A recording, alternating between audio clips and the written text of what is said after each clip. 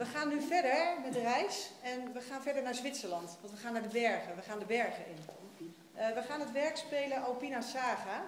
En dat werk vertelt van een bergwandelaar die de, schoonheid van de bergen bekijkt, eh, bewondert, de hoge toppen, de diepe dalen.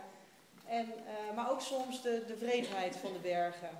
want er zijn ook wandelaars die nooit terugkeren of stranden in de nacht. Dat zullen we allemaal horen, de mooie vergezichten. Laten we meevoeren naar het berglandschap met Alpina Saga.